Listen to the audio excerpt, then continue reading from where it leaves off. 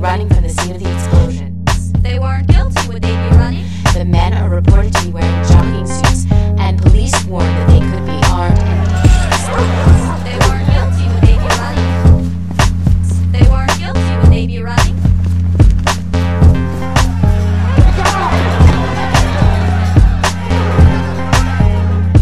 no question that in a time of peace and prosperity like this, it's possible for Stop. the country to Stop. have Doris, such a division Doris, as Doris, they do. Doris, Doris, Doris. Uh-oh, something's happened. George Bush is the president-elect of the United States. He has won the state of Florida, according to our projections. All of us at the networks made a mistake, made a mistake, made a mistake, made a mistake. It ends up with lakum dinakum walidin. That means you have your faith and I have my own.